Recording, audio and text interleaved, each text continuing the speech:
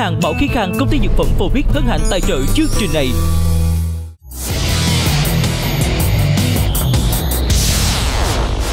Xin được mến chào quý vị khán giả, chúng ta đang đến với chương trình Bác sĩ ơi tại sao được phát sóng vào lúc 16 giờ 30 phút thứ bảy hàng tuần trên kênh HTV7 Đài truyền hình Thành phố Hồ Chí Minh. Quý vị thân mến, xu hướng hiện nay mọi người tin dùng những cái sản phẩm chiết xuất từ thảo dược có chứa cao lá hen để kiểm soát bệnh hô hấp mãn tính. Vì lá hen được mệnh danh là khắc tinh của đờm ho khó thở, hen suyễn, viêm phế quản mạng, phổi tắc nghẽn mãn tính COPD. Sự thật về vấn đề này như thế nào? Chúng tôi xin mời quý vị cùng gặp gỡ và trò chuyện với Phó Giáo sư Tiến sĩ Bác sĩ Nguyễn Thị Bay, giảng viên trường Đại học Y Dược Thành phố Hồ Chí Minh. Kính chào Phó Giáo sư ạ.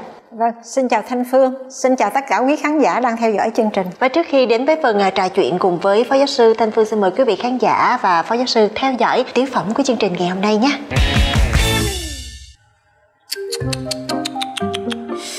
Ui, một cái cây lâu hết lá rồi mà còn cái lá này nè vẫn còn bụi thiệt tình ủa mình bệnh nặng quá mà sao không chịu nằm trong phòng đi ra đây kia vậy cái nhà nè không còn chỗ nào có bụi hết. Chắc ngày mai em phải đi mua mà cái cái bình xịt tới mình. Giống như là diệt khuẩn luôn á. Ừ. trời ơi gì vậy? Để cho nó diệt khuẩn trong nhà này không còn một con virus nào mà ám vô người mình. Ho nữa cái nãy cái phòng tôi ở có cái máy lạnh bà cũng tắt có cái quạt gió bà cũng tắt có cái cửa sổ bà cũng đóng. Bụi nó sẽ bay vô cái cửa sổ không xài máy lạnh tại vì những người ho là sợ bị viêm phổi sưng phổi. Thì quạt là cái gì? Nó mới hút cái bụi nó phà vô cái mặt mình. Đó thấy không? Trước khi bà trị được cái bệnh của tôi là tôi đã chết học rồi. Hơn ơi. Ai ổn vậy? Gì chị? Dạ. Ủa có anh ở đây hả? Hello baby. Anh bệnh á Bệnh Anh anh vô phòng anh nằm thì anh ra đây anh ngồi chi vậy? Sao ngộ Đó Ông giỏi đi Hello baby đồ đi. Coi sao mấy người ngộ tự nhiên là cứ ai cũng muốn nhốt tôi trong phòng hết trơn trọi vậy. Tôi ra đây để không khí nó thoáng đãng tôi thở cho nó khỏe. Tôi bớt ho là cũng nhờ không khí thoáng đãng. Nói nghe nè. Gì? Ở đó sớm á Họ đồn. Đồn gì? Họ nói anh bị ho đó. Đúng rồi. Là do bệnh truyền nhiễm đó. Đâu ra đâu ra truyền nhiễm hả? Bữa nào đồn truyền nhiễm? Hả? Trời ơi thấy thương quá đi. Chị xe tay chị ra coi. Cái gì Đúng trời ơi cái tay di trùng khóc à. Trời đất ơi. Chị còn xa xa đó đi. Đừng có cái chịu lấy cho hai chồng tôi đó. Cái đó mới là lây chứ. Người ta đồn vậy tôi không biết anh bị ho làm sao. Nên qua coi nè. Chồng của tôi á là không có phải ho lao tổn khí gì hết trơn á. Ổng chỉ có bệnh là ho dây dẳng thì gây tới mệt. Cho nên là khi mà ổng đi leo cầu thang em làm gì vận động mệt á thì nó thở nhiều chút thôi. Mà mỗi lần mà thời tiết mà nó có thay đổi một cái á là cái bệnh ho đó nó trở lại. Ừ. mà nó có đàm ho liên tục kèm theo là khó thở nữa. Này tôi bị ho nhiều quá ôi dai dẳng. Cho nên nhiều khi bạn bè tới tiếp xúc mà tôi ngại. Tôi ở trong phòng thôi tôi không ra tiếp tôi chứ bệnh truyền nhiễm đâu bệnh truyền nhiễm. Rồi có đi khám gì chưa? Khám, cái gì, gì? ra tiệm thuốc tây đó mua thuốc kháng viêm nè mua thuốc kháng sinh nè mua thuốc ờ. xịt mũi xịt họng nè. Nhưng mà thấy không hết nghe mấy người kể giống cái triệu chứng là viêm phế quản mạng tính. Hay còn gọi là phổi tắc nghẽn mạng tính nữa đó. Là gì? Nói gì thấy ghê vậy? Ừ. cái này người ta kêu là sát thủ thầm lặng. Cái gì vậy? Trời gì mà nghe chữ sát thủ thấy ghê vậy thì chị nó... nói tôi nghe mất mắc chữ gì quá. Thì tự nhiên mắc chữ tôi. Ý tôi nói cái bệnh đó người ta kêu là sát thủ thầm lặng. Bệnh gì kỳ á tại vì nó không có phát hiện nhiều cho mình biết rồi mình, mình tưởng là không có nguy hiểm. Xí mấn nào đồn vậy? Chữa bệnh hết đâu tôi cũng không có rành. Bây giờ nhờ bác sĩ người ta tư vấn cái bệnh tình cho hai chồng biết. Bác sĩ đâu? đây nè bác sĩ đây nè. Nghe bác sĩ nói đi Đau ho, khó thở là những triệu chứng ở người mắc các bệnh hen suyễn, viêm phế quản mạng và phổi tắc nghẽn mạng tính. Bào khí khang giúp giảm đau ho, khó thở, hỗ trợ giảm lực cấp và biến chứng của hen suyễn, viêm phế quản mạng và phổi tắc nghẽn mạng tính COPD. Bào khí khang giúp giảm nỗi lo, đàm ho, khó thở. Sản phẩm không phải là thuốc, không thể thấy thuốc chữa bệnh. Vâng và để mở đầu cho phần trò chuyện ngày hôm nay cùng với Phó Giáo sư Nguyễn Thị Bay, chúng tôi xin đề cập đến một câu hỏi thắc mắc của vị khán giả tên là Nguyễn Văn Tuấn, ngụ tại Ô Môn, Cần Thơ có hỏi như thế này bác ạ. À. Mới gần đây tôi có đọc một bài báo có nói đến tác dụng của cây lá hen. Lá hen là khắc tên của đàm ho khó thở, hen suyễn, viêm phế quản mạng, phổi tắc nghẽn mãn tính COPD.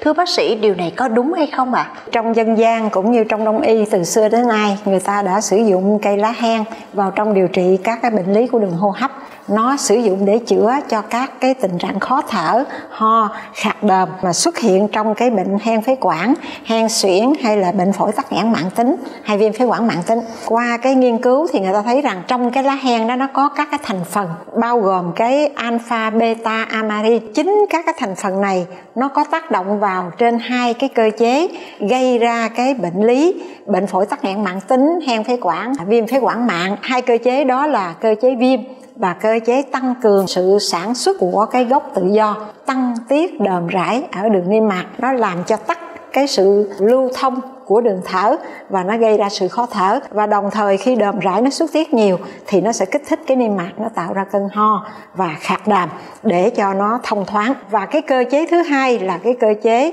nó gây ra cái co thắt, làm cho khó thở nhiều hơn.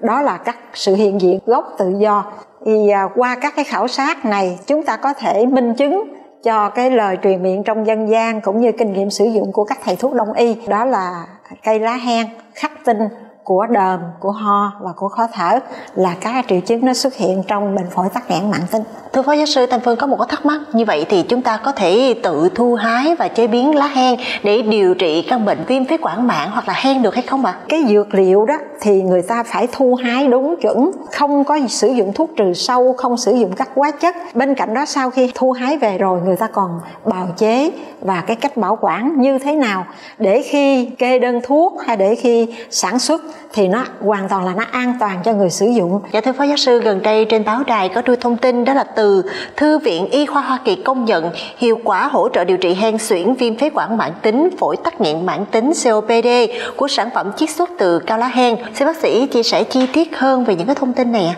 Trong cái à, xu hướng hiện đại hóa y học cổ truyền và kết hợp đông tây y thì người ta có thể sử dụng các dược liệu và qua nghiên cứu, người ta có thể phối hợp thêm các cái thành phần khác để làm cho cái sản phẩm đó nó hiệu quả hơn và tiện dụng cho người sử dụng.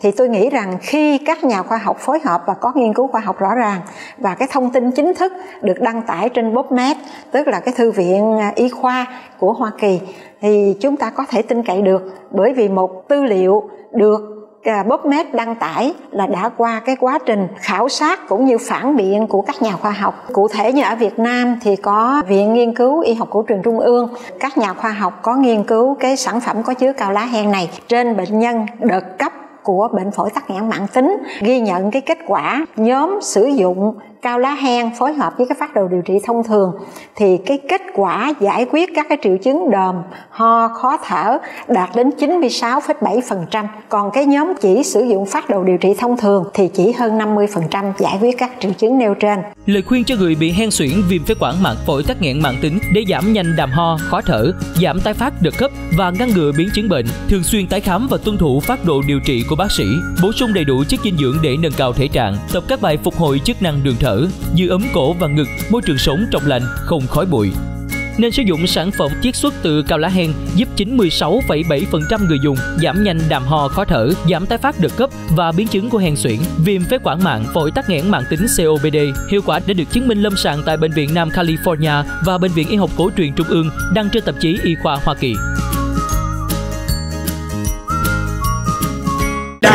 Khó thở là những triệu chứng ở người mắc các bệnh hen suyễn, viêm phế quản mạng và phổi tắc nghẽn mạng tính. Bào khí khan giúp giảm đàm ho, khó thở, hỗ trợ giảm đợt cấp và biến chứng của hen suyễn, viêm phế quản mạng và phổi tắc nghẽn mạng tính COPD. Bào khí khan giúp giảm nỗi lo, đàm ho, khó thở. Sản phẩm không phải là thuốc, không thể thay thuốc chữa bệnh. Xin được cảm ơn những thông tin hữu ích mà phó giáo sư Nguyễn Thị Bay vừa chia sẻ cho chương trình hôm nay ạ. À. Bây giờ thì xin được mời à, quý vị khán giả và phó giáo sư theo dõi phần tiếp theo của tiểu phẩm chương trình để xem rằng các nhân vật sẽ giải quyết tình huống ra sao nhé.